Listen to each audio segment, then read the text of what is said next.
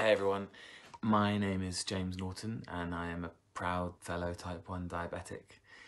Uh, this is an opportunity for me to say thank you um, both to the uh, artist T1 group but also of course to JDRF and um, thank you for everything you do. This is a strange time for all of us and your support is, is, is more meaningful than ever. Um, so on behalf of all the type 1s out there, a heartfelt thank you.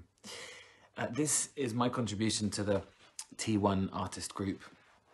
It's a poem, and this poem is for a woman called Liz Warren. And Liz is an inspiration to all of us, whether you're diabetic or not.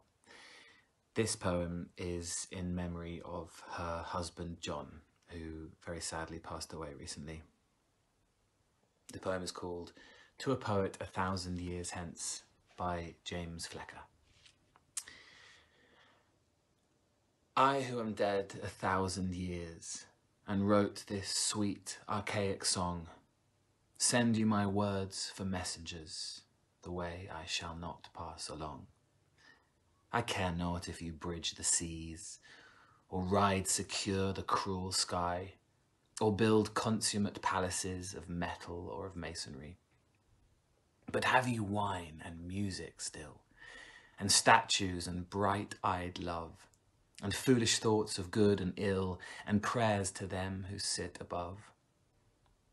How shall we conquer, like a wind, that falls at eve our fancies blow, and old Maeonides the blind said it three thousand years ago. O friend unseen, unborn, unknown, student of our sweet English tongue, read out my words at night alone. I was a poet. I was young. Since I can never see your face and never shake you by the hand, I send my soul through time and space to greet you.